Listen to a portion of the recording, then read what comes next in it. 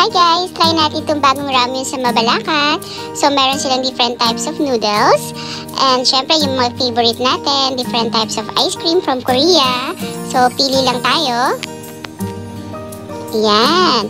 Pagpasok pa lang natin, bumugan na yung mga different types of noodles. So, mamimili tayo based on our preference. Pwedeng maanghang, pwedeng soup base, or kung ano yung gusto natin, they can suggest naman. So, you can, you can ask them. Ayan.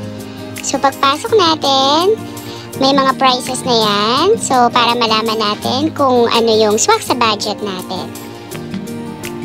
So, pasok lang tayo para ma-check natin. Ayan, may different types of drinks. They have coffees, may mga iced teas, and then they have the prices also. So, pili lang tayo. And they have naman cup with ice. So, napakalinis dito. They have also entertainment. They have TVs. So, yan. Ice creams. Yan. Different types of ice creams na napakasarap talaga. Lalo na sa tag-init. So, pili lang tayo guys. And with that, they have also side dishes. Siyempre, paborito nating mga kimchi. And then, mga drinks. So, malinis talaga dyan, guys. So, yan yung napili namin. Ako, I like spicy kasi. And then, ang gusto ko dito is you do it yourself. ba diba? Yung experience niya.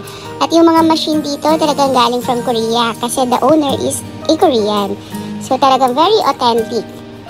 Yan. Hintayin lang natin makulo. There will be someone to assist you meron silang mag a assist sa'yo how to do it. So, hindi ka mamumblema kung magkamali ka man.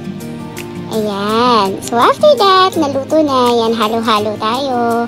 So, yan. Gusto ko yung spicy. And then, we have drinks pangtanggal ng spiciness sa tang natin. Yan, halo lang. Ayan. Ang sarap niya, ba diba? Yung experience, parang nasa Korea ka rin. So, siya sobrang happy kasi masarap siya and then pinarisa namin ng drinks and kimchi and then that's it. Thank you!